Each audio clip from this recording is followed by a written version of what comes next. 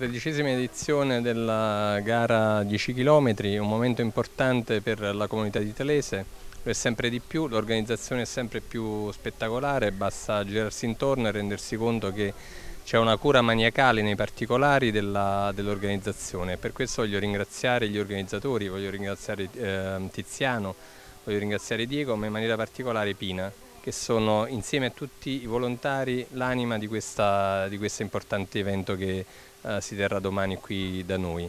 I partecipanti sono sempre di più, sono tantissimi, una mm, delle persone che vengono ogni anno a gestire la gara, degli arbitri che praticamente de, che controllano il percorso, mi ha detto Sindaco dove volete arrivare? Sempre più in alto, eh, il merito non è certamente nostro ma dell'organizzazione, sempre più in alto, una manifestazione sempre più importante.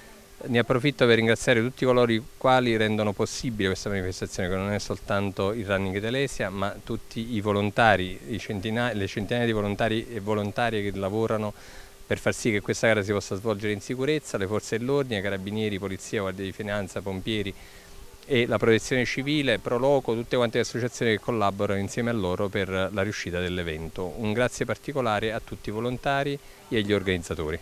Bene, siamo qui stasera alla conferenza stampa, la prima volta che la Running Telesi ha pensato di organizzare la conferenza stampa nell'arena. E lo fa la sera precedente alla gara perché c'è anche la contestualità della consegna di pettorale agli atleti top eh, che sono presenti qui eh, alla gara internazionale di domani.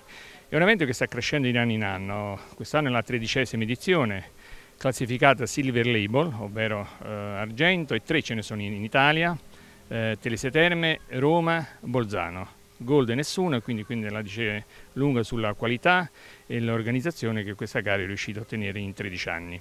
Come industria è vicino a questa manifestazione soprattutto perché pensa eh, l'associazione di Comindustria Benevento che eventi del genere possono essere da, da, sprono a tutto il comparto del settore del turismo, dell'enogastronomia, ma soprattutto dei settori dell'agroalimentare. Proprio ieri sono stati pubblicati i dati del primo trimestre eh, della Coldiretti che riguardano l'export dell'agroalimentare in Campania. Benevento, la sua provincia, ha avuto una, la migliore performance, il 64%, il che significa che le nostre produzioni vanno crescendo di anno in anno. È stata la migliore performance in Campania, anche se devo dire l'indice di volume che ha sviluppato questo incremento è minimo rispetto ai grossi numeri delle altre province, solo 19 milioni, ma su 19 milioni di euro buona parte la fa da padrone il vino e qui veniamo ecco, al bel contributo di quest'anno del Sarnio Falanchina, Città del Vino 2019. Qui stasera saranno presenti i cinque sindaci della, eh, che sono partiti per prima rispetto a questo tema, ma poi ci saranno anche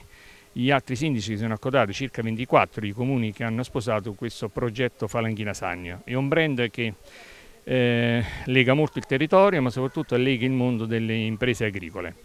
Eh, tutti sanno fare un prodotto, chi lo fa migliore, chi lo fa meno, meno buono, ma eh, al di là di questo prodotto singolo dell'azienda c'è bisogno di un brand territoriale. L'abbiamo individuato, Sannio Falanchina assolutamente sì, è un brand fortissimo, c'è bisogno di operazioni di marketing e questa di, di oggi, la collaborazione di Città del Vino con eh, la gara di Talese è un'ottima eh, operazione di marketing che serve soprattutto a dare coraggio alle istituzioni, agli imprenditori per sposare una causa del genere.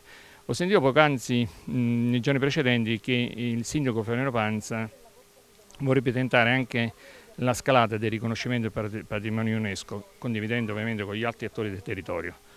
Bene, questa strada l'ha intrapresa eh, proprio nemmeno a farlo apposta, ma ehm, altre due zone eh, che sono interessate da imprenditori vitivinicoli. E le Langhe, e quindi parliamo di una zona del Piemonte che l'ha riconosciuto eh, il, sito, eh, il riconoscimento UNESCO nel 2014. Pochi giorni fa proprio Valdobbiadene, che è stata l'ultima città europea del vino nel 2016, ha superato il primo step, cioè da fare il secondo. Quindi questo diciamo, è uno step che probabilmente possiamo giocarcelo anche noi.